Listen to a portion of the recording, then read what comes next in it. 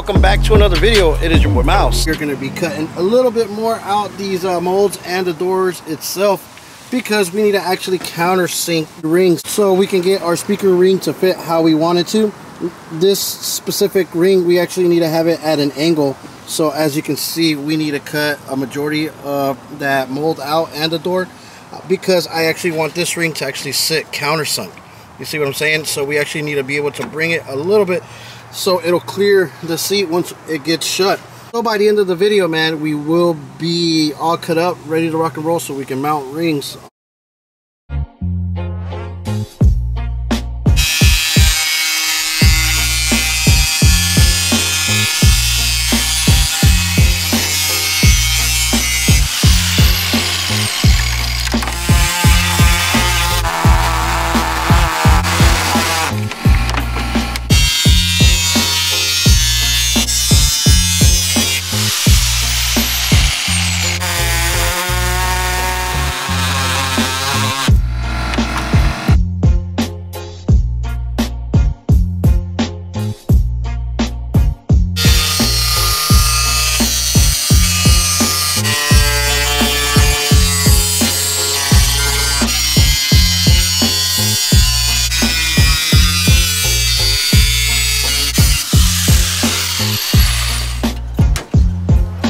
after doing a lot of cutting and then some more cutting and then a little bit more cutting we finally got enough clearance for the tens to fit in the door. And consider these guys got a big old magnet compared to those other neos that we were doing for the other set of door panels.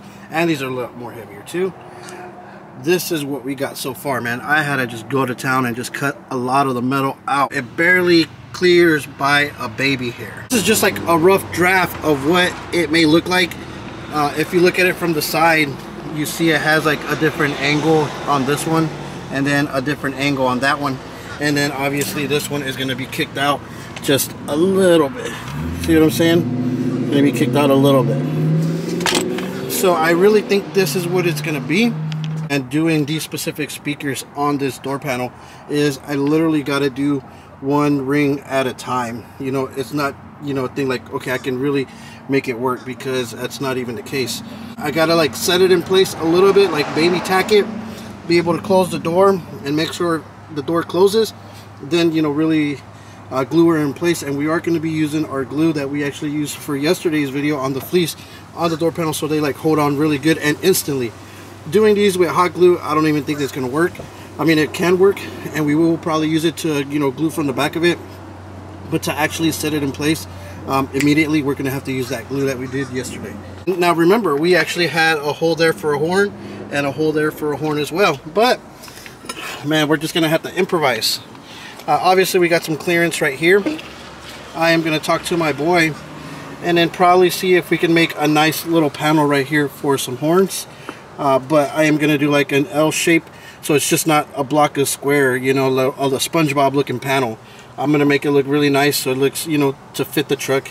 And then obviously like um, countersink it to where it's just like when you look at it from the side it like rounds over into it and not you know a square like this in it you know what a lot of people tend to do. I'm to show you how much clearance we got to work with. I'm to shut this door very carefully without moving the rings.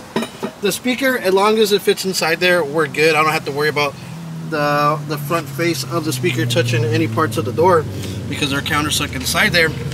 We just need this top lip to clear. All right, let's get it. It, it clears a lot. We, that one clears. And then this one, you see the only part of the door is that part.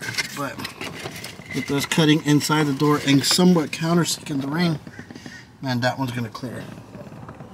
You see? It definitely clears. It barely clears by like a paper, but it clears. And that's why it's critical to actually mount the ring to where the lip barely sits on it. You see what I'm saying? sits on that. So anything past that, it would not clear. But when it's staying inside that lip, it's definitely going to clear. Same thing with this right here. You know, when it's staying, staying inside there, it'll clear. You see what I'm saying? If we stay inside there, it clears. But anything else, it would never clear, guys. Squeezing 310s in a Ford F-150 like this one, it is a pain, but it's doable.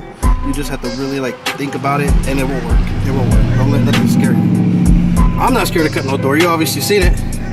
But look at this. Uh, this one I'm not really worried about it because we could just put like a half inch uh, stands on it and that speaker clear. Clear. We have a lot of you know clearance right here in this area.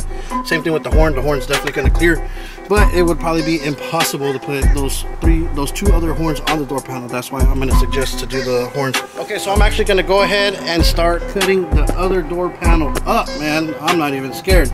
Uh, this door panel is ready to get cut up like that one and it's gonna probably take me like another like hour and a half to get everything cut out and like we just did that one.